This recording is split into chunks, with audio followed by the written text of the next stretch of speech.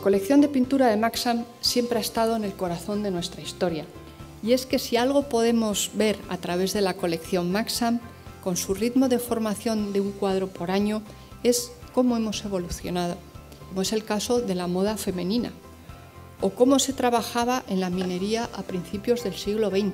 La colección Maxam recoge la práctica de la caza y el tiro como actividad lúdica, como deporte. Protagonistas como estas que nos adentran en los felices años 20 fueron las que forjaron el populismo de las mujeres de explosivos.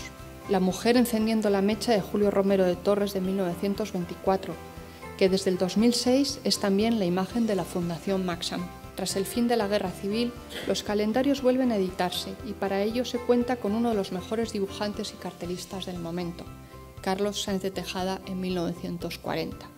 En los años 60, aunque los protagonistas masculinos de nuestros calendarios siguen siendo tipos serios, ellas vuelven a los gestos atrevidos y a las miradas retadoras como las que vimos a principios de siglo. Están los productos explosivos, auténtica ciencia química como la del circuito que Dis Berlin elaboró para el calendario del año en el que estamos. La obra que Isabel Quintanilla ha elaborado para la edición 2015 de nuestro calendario obra que prolonga la colección Maxam un año más y hace tan presente y actual para nuestro mundo el carácter emprendedor y visionario de Alfred Nobel, así como el papel de los productos explosivos para el progreso y el desarrollo de nuestra sociedad. Shaping the world you live in, dice nuestro eslogan. Trabajamos para dar forma al mundo en que vivimos.